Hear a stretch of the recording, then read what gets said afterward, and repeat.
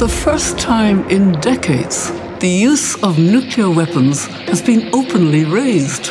We are calling on leaders to meet the urgency of this challenge with courage, to foster dialogue and cooperation where there is enmity, and commit to a shared vision of peace for humanity. We need long view leadership to ensure the safety of current and future generations. Will our leaders rise to the challenge?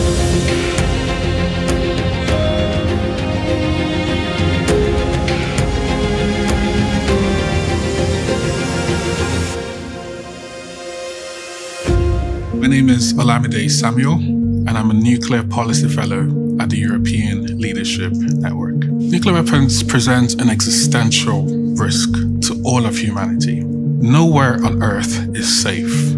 A full scale nuclear war would create global nuclear winter.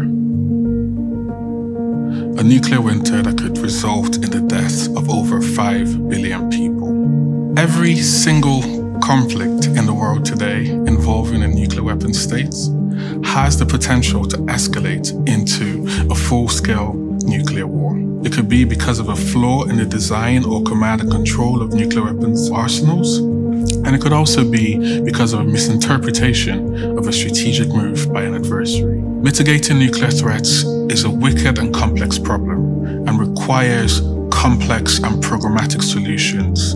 Global leaders should come together utilizing existing multilateral tools, such as the Non-Proliferation Treaty, and establishing new multilateral tools for disarmament, such as the Treaty on the Prohibition of Nuclear Weapons. We can achieve nuclear disarmament, but it requires global buy-in. It requires long view leadership, and it is something that is feasible if we start now. A world free from the threat of nuclear destruction is possible. We need leaders to commit this vision of hope, not play to our divided past. It's time for bold, new thinking.